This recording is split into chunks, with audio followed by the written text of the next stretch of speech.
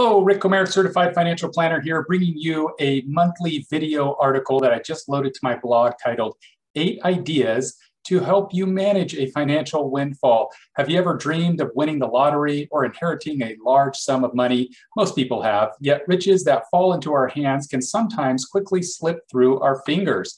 One study found that one third of the people who received an inheritance had negative savings within two years of the event. Alex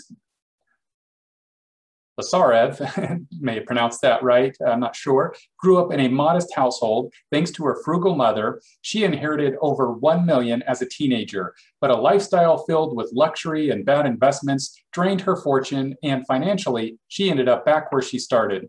Maureen O'Connor married the founder of Jack in the Box. His passing left her with an inheritance valued at over 50 million, but a series of unfortunate events left her destitute. Dishonest money dwindles away, but whoever gathers money little by little makes it grow, according to the book of Proverbs. While a windfall need not be viewed as dishonest money, the wisdom from the Proverbs serves as a warning that a sudden inflow of cash can quickly disappear if proper planning is shunned. Over the next decade, millennials are expected to inherit 68 trillion, according to a study by Coldwell Banker.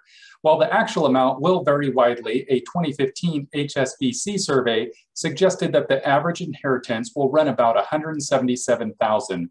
And there are other ways you might come into a large sum all at once. The sale of a property, the settlement of a lawsuit, a year in bonus, and yes, winning a lottery ticket can uh, create unexpected riches as well that can enhance your overall well being or turn into an unexpected nightmare. So, how to manage and sustain your windfall. The advice I provide is always tailored to your specific goals and circumstances. What I recommend to one individual or couple isn't always the counsel I provide to someone else, but there are time tested financial principles that are the foundation of the advice I provide. The recommendations below are general and are based on long term data and our experience. First, First things first, don't do anything. That's right, do nothing. Place the funds in a safe short term account, such as a money market or savings account. I know it's not going to earn a lot, but that's not the point. This reduces the temptation to make a big purchase that you may come to regret. It will also give you the time and space to develop a sound financial plan that meets shorter term and longer term needs and goals. Number two, get help. I'm always available to respond to your questions and ideas. I'll assist you in making any adjustments that incorporate the windfall into your financial plan and plug any shortfalls. I'll suggest a tax preparer if you need one to help you navigate the tax code and estimate any taxes that are due. Further, an estate planning attorney will help you create an estate plan. Three, pay down or pay off debt.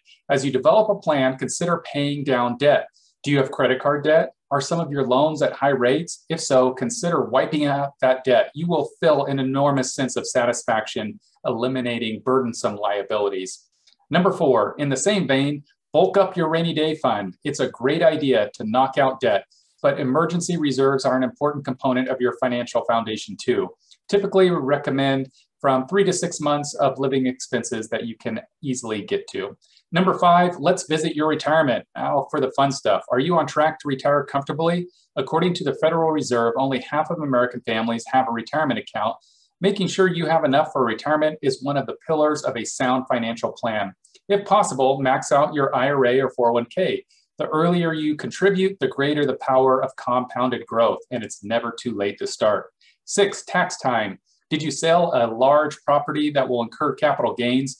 What are the federal and local taxes that might be due? A conversation with your tax preparer is in order so that you can set aside funds to pay the tax man. Getting caught flat footed at tax time is something you'll definitely want to avoid.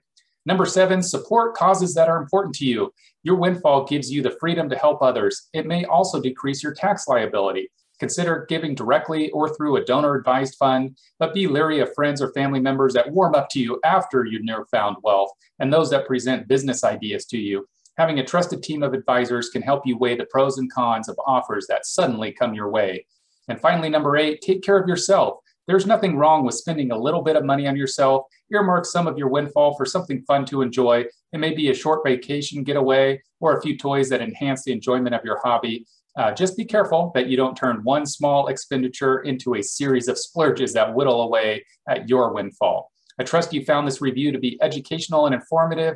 Let me emphasize that it's my job to assist you. If you have any questions and would like to discuss any matters, feel free to give me a call. As always, I'm honored and humbled that you have given me the opportunity to serve as your trusted financial advisor.